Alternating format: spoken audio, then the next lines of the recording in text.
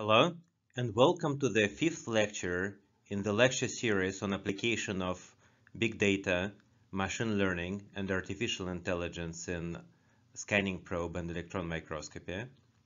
In this lecture, we are going to talk about the application of the supervised and unsupervised learning in scanning transmission electron microscopy. My name is Sergei Kalinin, and I work at the Center for Nanophase Material Sciences at Oak Ridge National Laboratory. So in this lecture, we are going to briefly talk about why would we need to apply big data, machine learning, and artificial intelligence in electron microscopy. Briefly discuss the application of the nonlinear and linear unmixing methods, such as principal component analysis, non-negative matrix factorization, and Bayesian linear unmixing, for analysis of the electron energy loss spectroscopy or EELS spectrum imaging and for analysis of the four-dimensional STEM or ptychography. We are going to talk about the image analytics using global and sliding Fourier transform and briefly talk about the analysis based on atom extraction and local crystallography. By the end of the talk, we are going to look at few snippets on the application of the deep learning in image analytics and STEM. As the reminder, this lecture covers some of the historical aspects of the machine learning and STEM, sort of roughly from the year 2018 to year 2008. And uh, stay tuned to the short lectures coming in the future dedicated to the current effort in this area. So, why are we interested in applying machine learning in electron microscopy in the first case?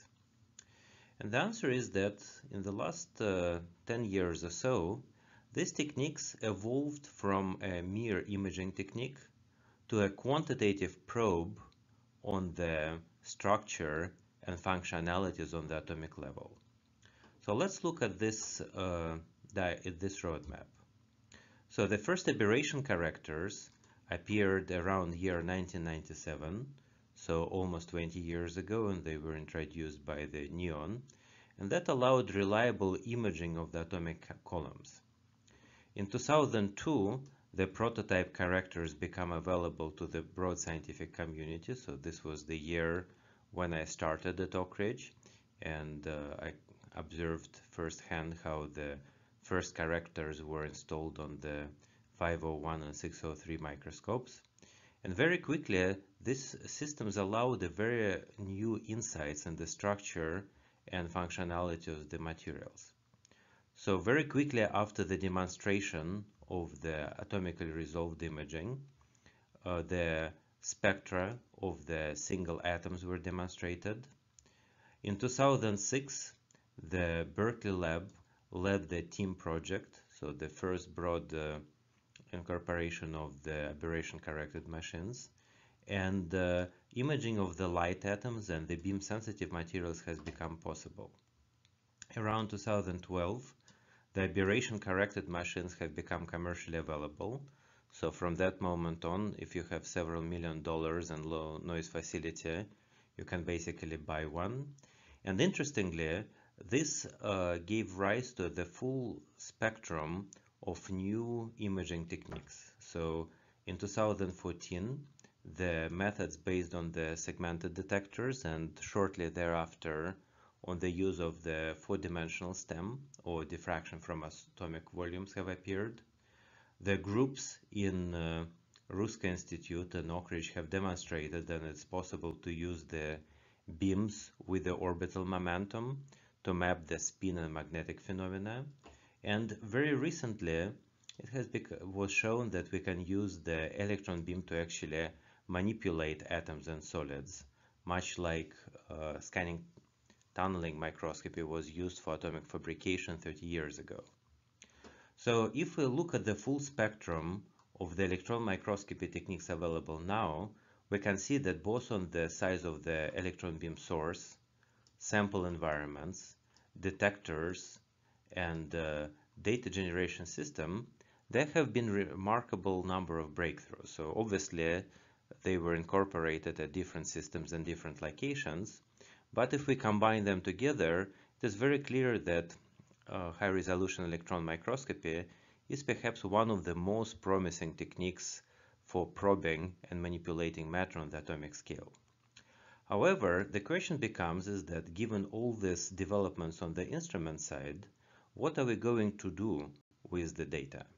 And this is something that spurred us to engage in the development of the techniques for automated image and the spectrum analysis in STEM.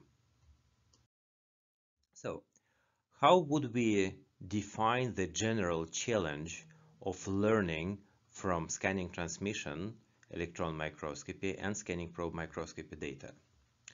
So in principle, we can divide our problem in the four specific areas. So the first one is whether we can get material-specific functionalities and information from microscopy data. For example, to which degree can we learn the atomic coordinates from STEM data or scattering potentials from 4D STEM and so on and so forth. At which level of the confidence can we do that and how this knowledge is affected by the knowledge of the imaging system. The second problem is uh, can we learn this material specific information with the uncertainties determined by the incomplete knowledge of imaging system to recover the correlative models or generative physics of the material, for example, force fields, exchange integrals, and so on and so forth. The third challenge is that whether we can use the material information, whether it is correlative or causative, to understand and forward predict materials behavior in a broad parameter space. For example, construct the phase diagrams, predict the functionality as the function of external stimuli, and so on and so forth. Notice that of these challenges, the first one is something that the electron microscopy or scanning probe microscopy communities are focused at. So this is what microscopists are doing. The third one is something that the theorists are doing. But the second one, how do we learn materials physics from the images, is largely missing. Interestingly enough, it's uh, not universal. For example, astronomy which is uh, not experimental science, it's observational science. Astronomers know how to reconstruct the models of the universe based on the observation. So the question becomes, can we use the same techniques and methods, augmented or enabled by the machine learning and artificial intelligence for microscopic dataset? And the price in this case would be that machine learning methods, once they're developed, tend to be fast, which means that in addition to learning materials physics and chemistry, we can also endanger the real-time feedback from our analysis of machine learning system back to the microscope to enable the autonomous experimentation, atomic manipulation, and so on and so forth. So, how can we do that? Where do we start? The answer is that we need to start with the exploratory data analysis. Let me show you a few examples of the techniques when it is necessary. So in scanning transmission electron microscopy, chronologically first area where the machine learning methods were applied was the energy loss spectroscopy or EELS. So what you see on this slide is the example of the uh, three component film where you have the strontium titanate substrate Grown on the strontium titanate is the lanthanum strontium manganite electrode, and then grown on top of it is the bismuth ferrite. So what we can do is select this region inside this material and take multiple EEL spectra. And when you look at the spectra, you can see that they're pretty complex. They have a lot of peaks that can be roughly uh, interpreted as surface plasmons, volume plasmons. You can see the electronic edges corresponding to titanium M, manganese and iron M, and then lanthanum N regions. Question becomes, if we have multiple spectra within the structure, can we somehow simplify it? Can we learn how many components are inside the system? For example, as you can see on this graph, the blue curve corresponds to the EEL spectrum collected across the interface. So is it a new phase or it is just a geometric sum of the signals from the adjacent phases? So how can we answer this question? Another example, perhaps a little bit less obvious, is so-called ptychography of 4D stem. So in this case, we have our electron beam focused on the material with the uh, beam volume being generally smaller than atomic spacing. We generate diffraction from the subatomic volume and by the nature of the process we generate the diffraction over the square grid of points. So the question becomes what are we going to do with this four-dimensional data set? Another example would be the image analysis. So we have an image, in this case this is a scanning transmission, uh, scanning tunneling microscopy we can treat the image the collection of the overlapping subimages. So in this manner, this two-dimensional image is transformed into the four-dimensional image uh, where each element contains the subimage of the original one.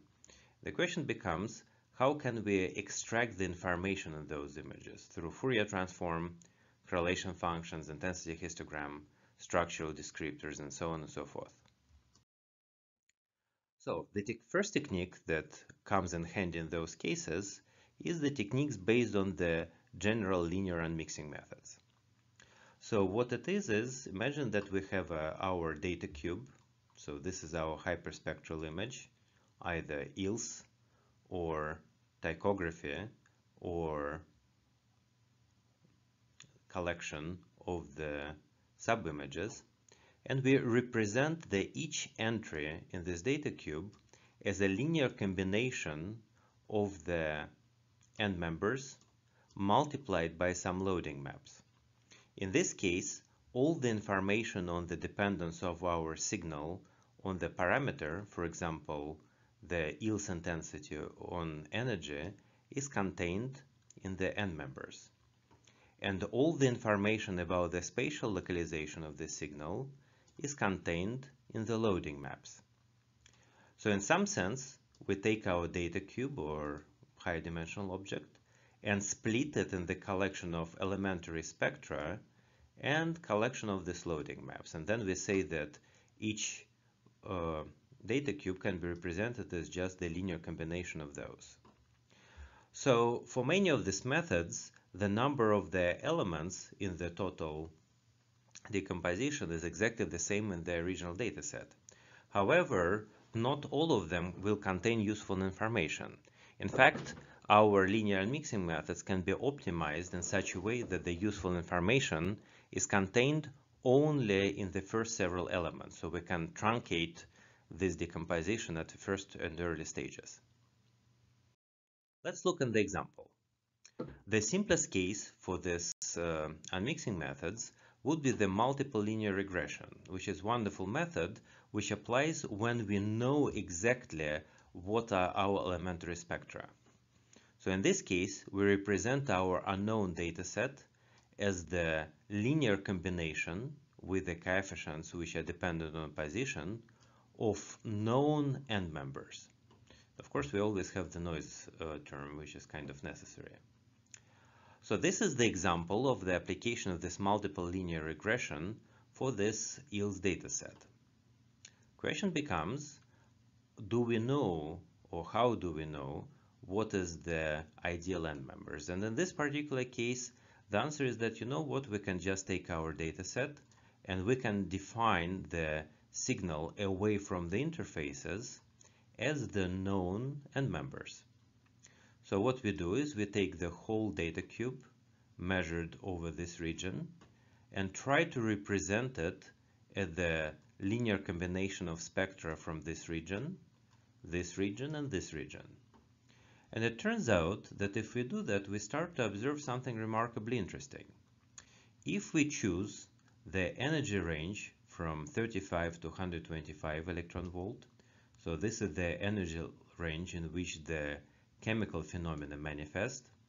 In this case, we can represent our data very well as the linear combination of the spectra from the individual regions. So in fact, this fit is very good and our residual maps or chi square map shows that there is nothing else in the image. At the same time, if we look at the energy range from 5 to 35 electron volt, so this is the region where the plasmons reside, you can see that we can still represent the spectra as the linear combination of these end members. However, at one of the interfaces, we see that the error is very large. That means that there is some new type of behavior at the interface that cannot be represented as the linear combination of the individual elements. So in this particular case, it turns out that this happens because the, there is a structural reconstruction of the interface co uh, caused by the penetration of the zone uh, center modes from one material to another. And you can read more about it at this uh, publication by published in PRL about 10 years ago. Now, in this case, we assume that the end members are known. But what if the end members are unknown? So in this case, it turns out that we can still do remarkably a lot of things. In fact, we have a large collection of the linear mixing methods that allow us to work with the mixtures formed by the unknown components. The most simple of these techniques is the principal component analysis, which is pure information theory based and generally allows us to estimate how many components are in the mixture. The independent component analysis is considerably more complex methods, which allows us to essentially go against the law of the big numbers, to separate the components in such a way as to increase their non-Gaussianity. There are techniques such as Bayesian linear unmixing or simpler version N-FINDR and non-negative matrix factorization, which allow us to incorporate certain constraints, for example, additivity to 1 and the fact that the signal is non-negative. Now, one thing which is really important in discussion of these unmixing methods is that the convolution with the resolution function is also mixing, which means that if you perform the unmixing on the experimental data and you're concerned about the resolution effect, resolution is going to affect only your loading maps. So your end members, at least ideally, will remain the same. So resolution is important, but we can use these techniques independently on the resolution of the technique. So let's start from the principal component analysis. So we have discussed it several times in the one of the previous lectures. So just as a quick reminder, the PCA is based on the taking our original data set and representing it as a linear um, uh, superposition of the loadings and eigenvectors. The eigenvectors are orthonormal and are arranged in such a way that corresponding eigenvalues are placed in descending order by variance. So it is really convenient to separate the quote-unquote real data from noise once we establish what is the cutoff criterion. So the first several eigenmembers tend to concentrate the useful information. It can be performed by the singular value decomposition either in MATLAB or in Python and scikit-learn. Now, important thing is that PCA eigenvectors are determined purely in information theory sense and they generally don't have defined physical meaning. Of course, they may have it for more complex reason, but you really need to prove it in any specific case. And what's also important is that the principal component analysis is usually a starting point for many other mixing methods. So it's really something where you start most of the time, both for the exploratory data analysis and to prepare your data for more complex techniques. So let's look at several more complex examples on the PCA analysis on the EELS dataset. So this is the uh, EELS dataset on the calcium titanate, strontium titanate heterostructure. When we take our four-dimensional dataset, we plug it in uh, MATLAB in this case, and we extract the loading maps and the eigenvectors for several components. So you can start to see that our components clearly show you the difference between the uh, calcium titanate and strontium titanate region. You can see a very clear contrast in the first two components. You can see that some of the components look like they don't show other than anything other than noise. But if you look carefully, you will notice that in fact these components have a small number of uh, very strong pixels. And if you look at the corresponding loading maps, you can see that the noise in the system was actually filtered into specific PCA components. So for example, for third component, you can see this pixel where all the noise, just one point in the image, have uh, been uh, separated. So that basically tells you that one of the important thing in the preparation of your data for the PCA or any other analysis is to clean up the outliers. Otherwise, each outlier is going to grab a full PCA component for itself. Another interesting thing that you're going to notice is that the useful information is contained only in the small number of the loading maps. In fact, I checked the subsequent maps don't have any spatially resolved information. And you can also see that we learn something about the chemical identity of this system. So for example, the first two maps clearly separated calcium titanate and strontium titanate regions, whereas the fourth map shows more or less uniform contrast. So given that the only thing common between calcium titanate and strontium titanate is, if you will, titanate, that immediately tells us that this component corresponds to the EEL spectra of the titanium dioxide, whereas these components can be some linear combination of calcium and uh, strontium titanate respectively. What's also interesting is that uh, this map shows us atomically uh, resolved features, and this is something that will come in handy down the line. Now, this is the more complex example of this uh, strontium titanate, lanthanum strontium manganate, bismuth ferrite heterostructure. So in this case, we can also perform the uh, principal component analysis. And in this case, the data is remarkably more complicated. So you can see that there are some of the components show the atomic periodicities. Some of the components show only the mesoscale features. And there are a lot of interesting suggestions that something unusual may be happening on the interfaces. However, the principal component analysis can only suggest that something strange can be going on, but it cannot tell us exactly what it is. Uh, we can, of course, play further with this data. For example, we can take our loading maps calculate their Fourier transforms and see if we start to detect the atomic periodicities. It turns out that some of the map shows atomic periodicities, so you see the Fourier peaks. Some of them do not have atomic periodicities. So basically it tells us something about the signal localization in the EELS hyperspectral imaging. And uh, then of course the question becomes what do the components mean? Well, we know that the first component is the average of the signal. However, given that the EEL signal is positive, that means that there are already second components, so don't forget they are supposed to be orthonormal. So that means that the second component will already have negative regions, so that is actually it's an uh, unphysical. We know that some components will collect outliers, and what's also remarkable is that uh, if your signal has a periodic noise, very often this periodic noise would be confined to just two PCA components. Two because it's typically phase unsynchronized and therefore one component has the noise and another component has the periodic noise shifted by 180 degrees. So the conclusion that the PCA is absolutely greatest exploratory data analysis tool for the uh, hyperspectral data it gives us insight into the spatial localization of the signals, but it really does not offer direct physical interpretation.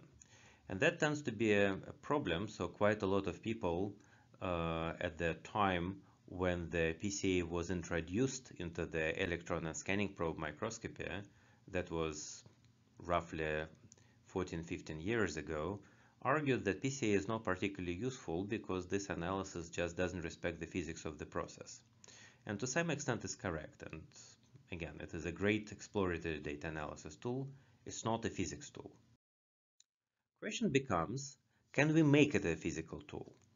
And one way to do that is to implement the functional recognition imaging. So notice that this approach was suggested uh, 10 years ago. Now, instead of using the relatively simple shallow neural network, we would use the deep learning, but the principle is the same. So what is the functional recognition imaging? Imagine that we start with some set of the material's properties and functionalities, which can be based either on internal standards, so the label data set, external standard, or the theoretical response. So these days, this would be supervised, unsupervised, or the transfer learning approaches. We simplify the signal to the uh, using the PCA to reduce the uh, dimensionality and to remove the correlations. And we train the neural network using the these descriptors as the input and materials functionalities and output. So once the network is trained, it will be able to recognize the materials behaviors and transform them into the functionalities. So once we have the network, we take the experimental dataset, perform the same dimensionality reduction or find the same descriptors, send it to the same network, and extract the set of material property maps. So this is the example. In this case, we take our calcium titanate, strontium titanate image. We use our neural network to train to recognize first and second component. And then we separate our data into the uh, relative fraction of the components. As you can see, we were able to actually separate our EELS dataset into the component maps. And uh, of course, what we get very much depends on what type of network. So if we use a purely a linear neurons, we have a good separation. If we have a tangential neurons, which is roughly equivalent to the logistic function, we will have a much sharper decision boundary corresponding to whether we deal with the calcium titanate or strontium titanate inside this material. So the same type of approach works for strontium titanate, lanthanum strontium manganate system, but in this case, the way our system behaves very much depends on how many materials descriptors do we have. So for example, if we have three or four principal components, we can clearly separate strontium titanate, LSMO, and BFO datasets. Once we have five components, we start to see the anomaly on the interface between the LSMO and BFO. And that looks very interesting, except that if we start to keep increasing the number of principal components, we start to see the anomalous behaviors even on the STO-LSMO behavior. So at that time, when we did this analysis, again, almost 10 years ago, we were not able to understand why it's happening, therefore we never published it. And of course, now we know that this is a typical example of the overfitting when the networks just start to pay attention to the spurious changes in the contrast. The technique that turns out to be extremely useful in these cases, however, is the Bayesian linear unmixing that we discussed in the previous uh, lectures, where we try to take our EELS dataset and separate it in the components which uh, are non-negative and sum to 1. And in this case, it works like a charm. So using this BLU approach, we are able to separate our dataset into the components which are perfectly indicative of the pure strontium titanate, LSMO, and BFO components.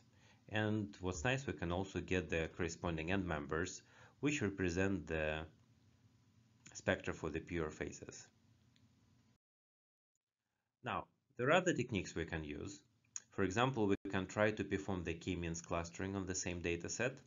So in this case, rather than trying to separate the data into the uh, linear mixing components, we try to separate into the non-overlapping clusters. And again, predictably, it works very well in this case. Now, what about analyzing the images? For the time being, we discussed the analysis of the spectral datasets. What about the images? We define the subimage inside it, and uh, we perform the Fourier transform on each of the subimages and then we uh, transform the whole image set into the collection of the Fourier transform of the subimages. And then we can treat them as the hyperspectral dataset and, for example, apply the same uh, linear unmixing on this FFT data datasets. So this is the example of the image which clearly has two phases, the phase with the large unit cell and phase with a small unit cell. We transform it in the stack of the Fourier transforms and uh, perform the linear unmixing. And as you can see, if we do that, we can very well separate first phase and second phase. So the usual question in this case, how do you select the proper number of the components? And the answer is very simple. Uh, we can try to perform this unmixing with the two components, three components, four components, and then we look at the results. As you can see, for two components, it works perfectly. For three components, we identify the interface as the original phase. And for four components, we start to separate one of the phases in the additional components. So it's very easy to detect once the separation start to fail. What is remarkable is that this method works, of course, not only for ideal synthetic data sets, it also works for the experimental data. And this is the example of the image of the complex uh, oxide catalyst, where you can see the coexistence of two phases the hexagonal phase and much more complex phase. And as you can see, this Bayesian linear mixing separates the phases remarkably well. So our first component is actually the empty space. And this is how the Fourier transform of the empty space look like. Our second component, which sits inside, purely inside the hexagonal phase, has a beautiful uh, Fourier transform. And our third component is this uh, partially disordered phase which has is localized within this grain and has a very distinctive Fourier transform with the set of these uh, interpenetrating rings. So the sliding Fourier transform Bayesian linear mixing really works like a charm when you have to work with the image segmentation problems and you try to identify the elementary phases inside the of course, it works not only for chemical phases, it also works for the uh, separation of the physical systems when we can have uh, several interpenetrating order parameters. And this is the example of the scanning transmission electron, uh, so scanning tunneling microscopy of ruthenium trichloride, which can be in the uh, dimer phase or the non-dimerized phase. And our Bayesian linear unmixing applied to the Fourier transform can separate the regions of the different order and you can see that they have remarkably different spatial localization. So this approach works remarkably well. So you can read more about this an analysis in several publications. So one is by Rama Vasudevan on the determination of phases and interfaces from real space atomically resolved data. Another is the analysis of the ruthenium trichloride and the application of the sliding Fourier transform um, for STM as well. Now, what are other examples of the machine learning applied in STEM? So the very interesting technique in this regard is the four-dimensional STEM or the ptychographic imaging. So what this technique is, is the diffraction in the wonderland. So think about it this way. Imagine that you have a crystalline material and you shine an electron beam on it. And assume that the size of the electron beam, sort of, it's almost like a parallel wave, is much larger than the distance between the atoms or scatterers inside the solid. So in this case, you will get a normal diffraction pattern, which is formed by multiple well-visible Fourier peaks, and these Fourier peaks are very narrow. Imagine that you make the size of your, of your beam much smaller. So the beam size becomes only slightly larger than the size of the uh, distance between the scatterers. In this case, the Fourier peaks become considerably broader, and instead of the very sharp peaks, we start to see the disks. So this is the general principle. The smaller is the beam, the broader is the Fourier peak.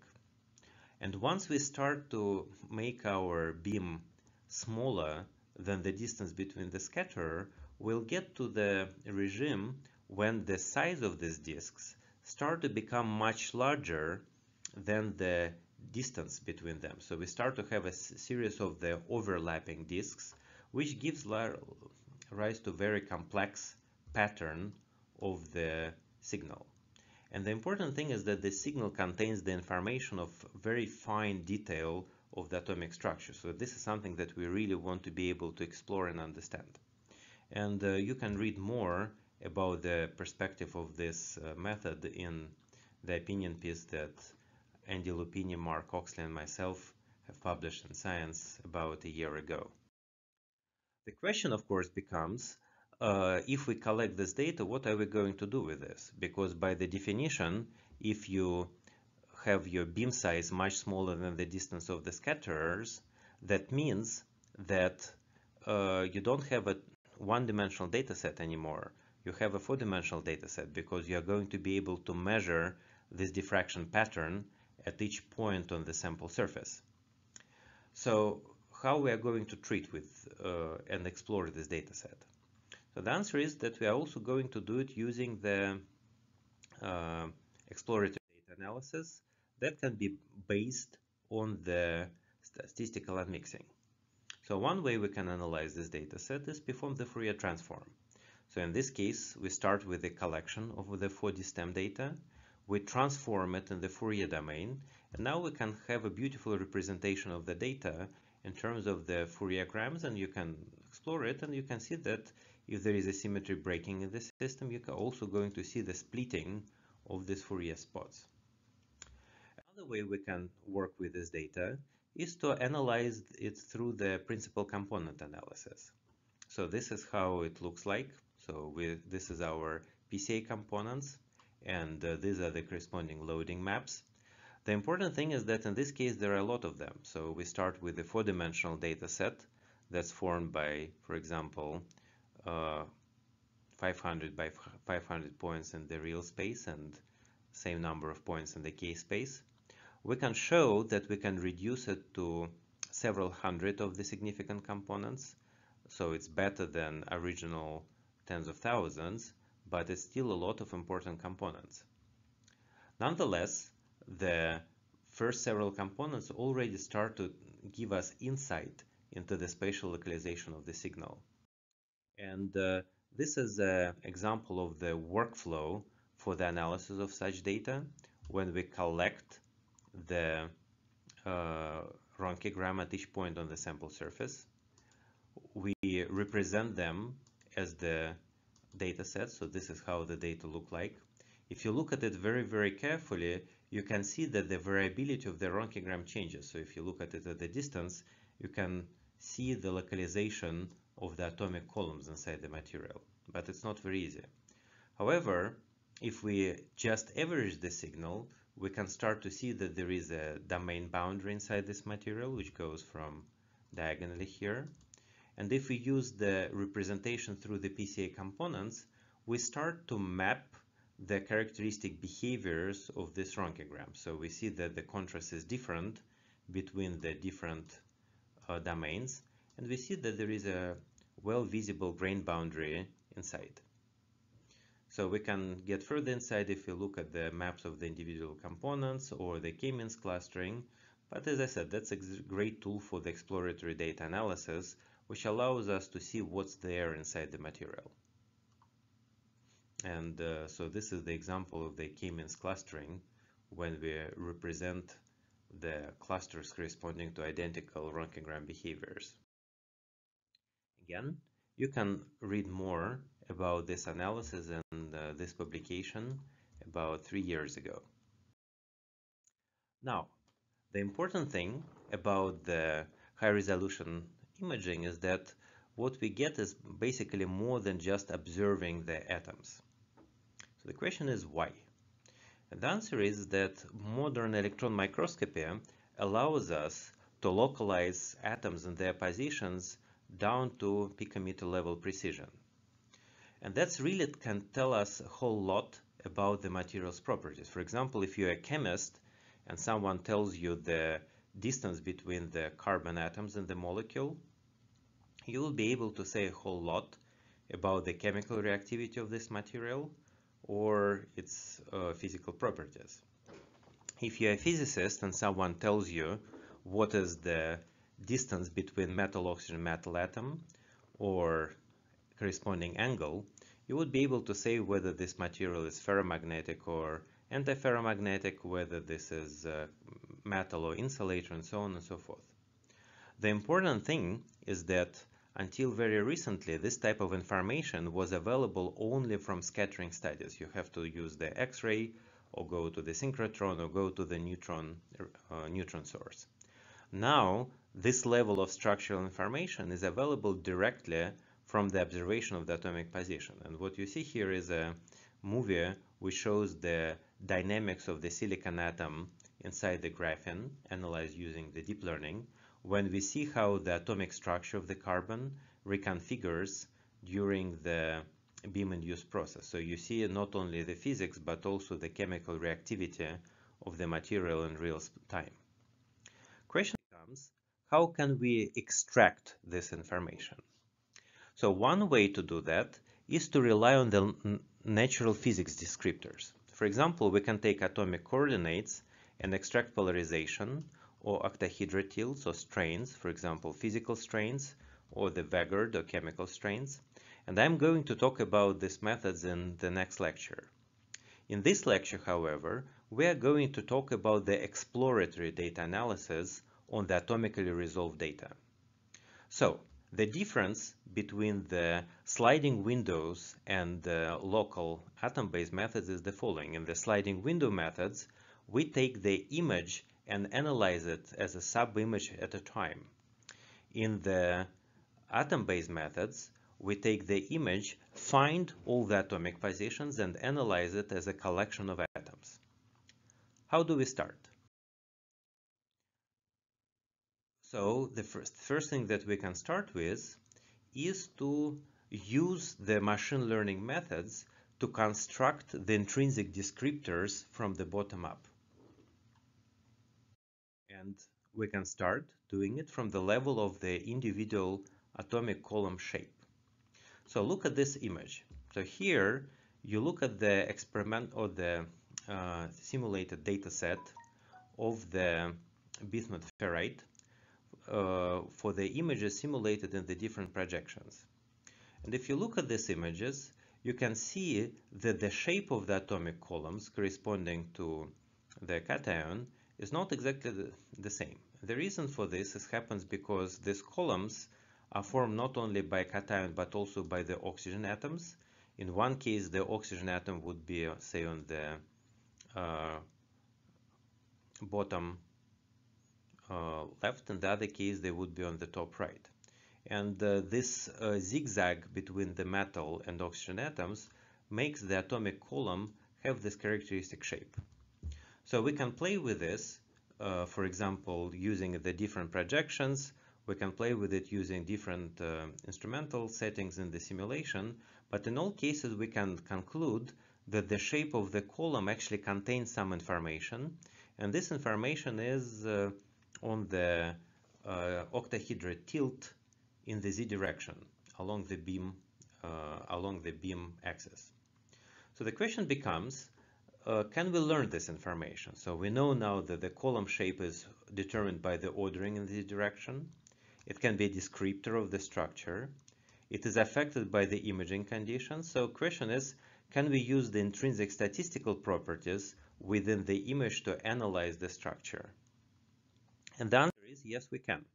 If we take the theoretical image and uh, find each atomic column and then perform the principal component analysis, you can see that our first component is just average. It looks like a circle and the corresponding map is uniform.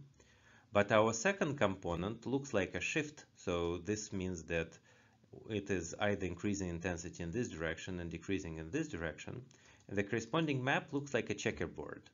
So the presence of the shapes, uh, ordered shapes in this column reflected in the checkerboard pattern in the shape PCA. In comparison, the next component already has a much small amount of information and there is no spatially resolved map.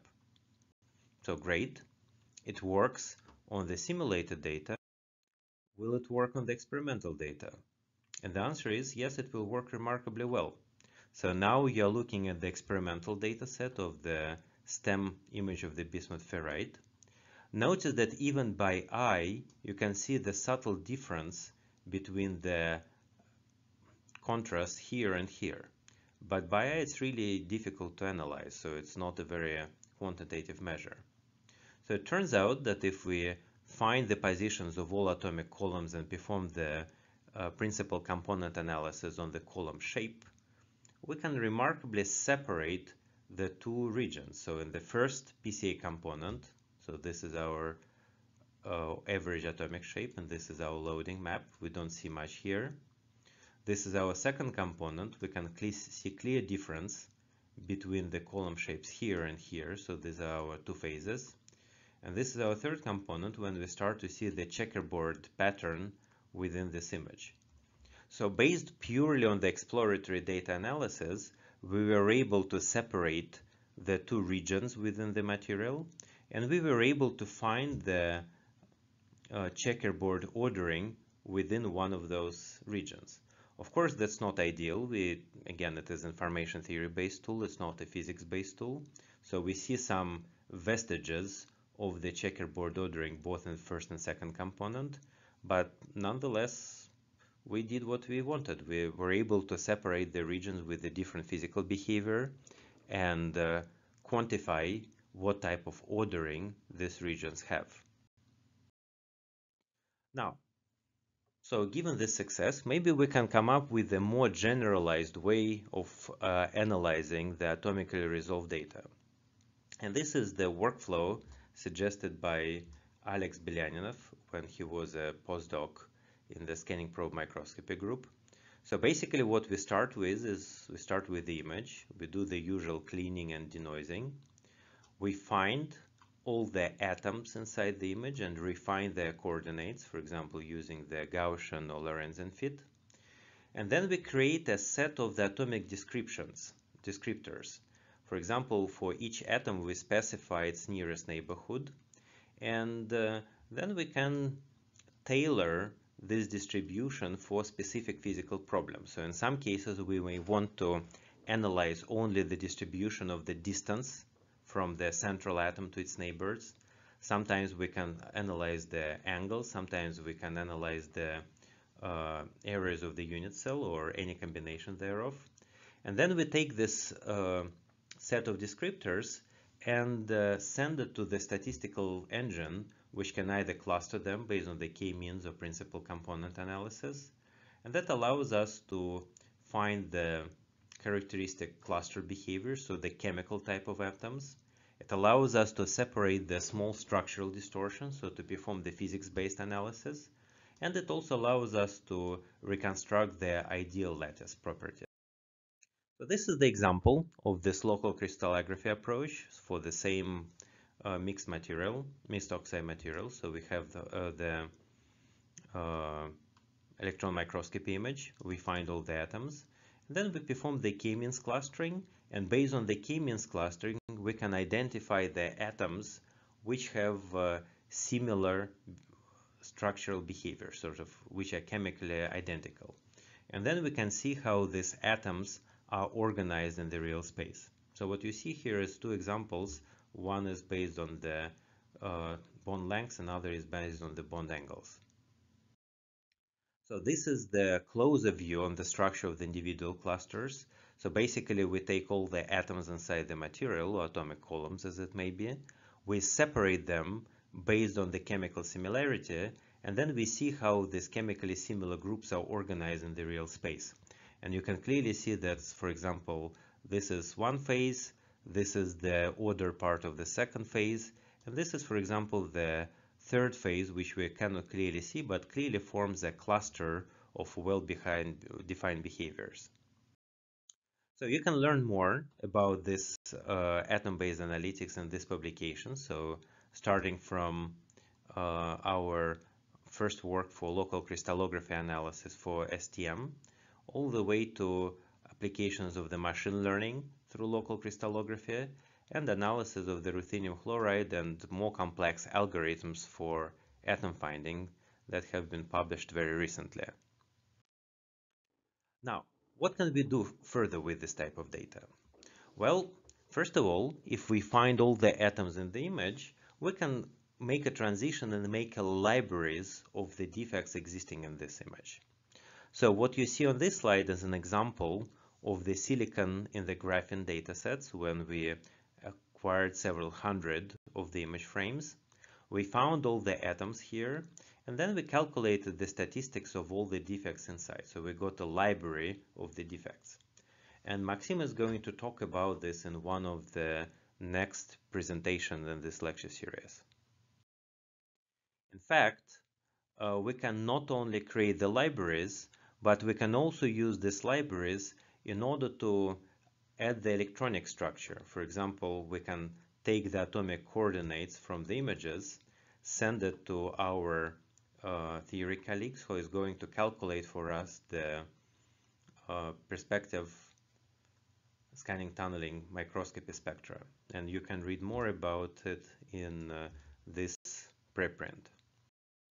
In fact, we can even take the sample, transfer it from the electron microscope and the scanning tunneling microscope and get the several images of the surface electronic properties and with a very high degree of probability we can identify some of the defects in the STM image based on the predictions from the electronic structure from the electron microscopy dataset. Turns out that this is actually a remarkably complex experiment because once you transfer the sample from electron to scanning probe microscope it can get damaged and so on and so forth. But it worked at least once. And what's important is that uh, the collection of the images that's generated in this experiment is now publicly available from the Citrine Citrination platform. You can learn more about this in these uh, two publications, so the uh, Material Research Bulletin and the arXiv. Now, what else can we do? It turns out that uh, with the deep learning methods, we can actually do quite a lot. So this is the example of the uh, experimental evolution of the tungsten sulfide under the electron beam. So what you see here is how the electron beam kicks out the sulfur atoms creates point defects. The point defects organize to form the extended defects and then they form the nucleate the new phase. So from the point of view of pure electron microscopy, this is essentially a beam damage, so something bad is going on. From the point of view of the solid state chemistry, this is uh, a remarkable collection of information on how material is reduced when we observe this reduction process one atom at a time. So this is truly exciting. And uh, what we try to do here is to extract the useful information from this data set. And to do that, we created a deep learning network that finds point defects and only point defects.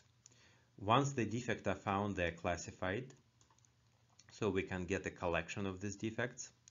And then we can represent the evolution of the system through this uh, space-time trajectory. So what you see here is the XY plane. So this is our image plane.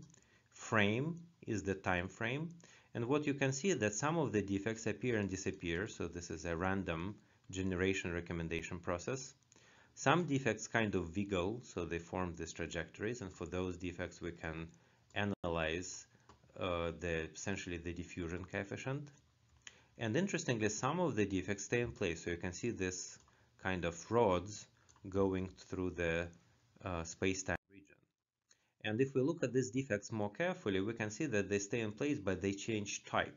And the reason why this happens is because this defect corresponds to the, uh, the dopant molybdenum atom that can form a complex with the sulfur vacancy. So this complex exists in uh, three possible configurations, and we also can have the uh, pure molybdenum atom. So there are four possible configurations of these defects, and you can see that how under the action of the electron beam they switch from one form to another.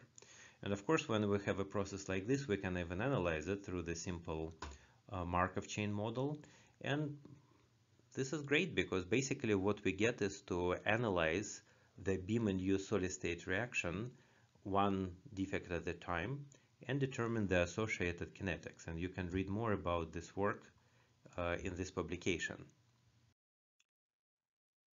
Many of these advances are based on the deep learning. It really works like a charm for problems like drift correction, denoising, data processing, and feature finding. So what I show here is just a brief example is how well the deep learning works for the atomically resolved data sets.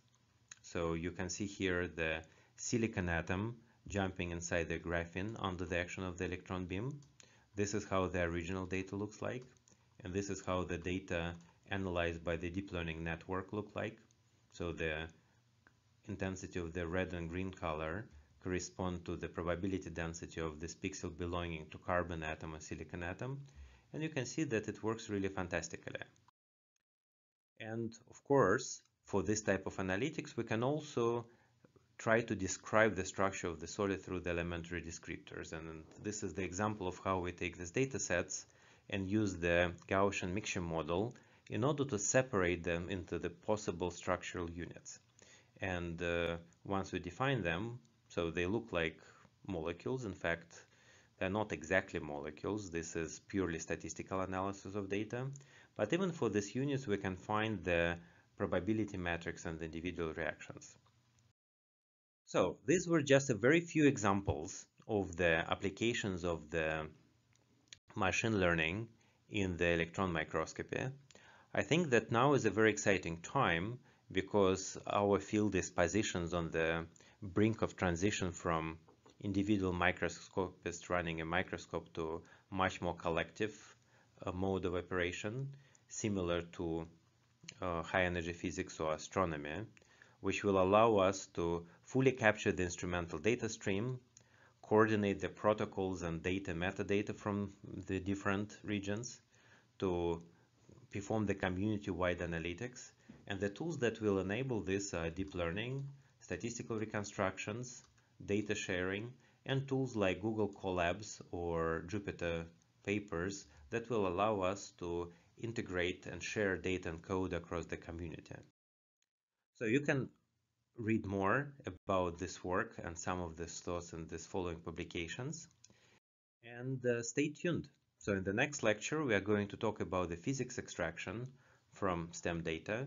And after that, we are going to talk about the electron beam atomic manipulation. Thank you for your attention.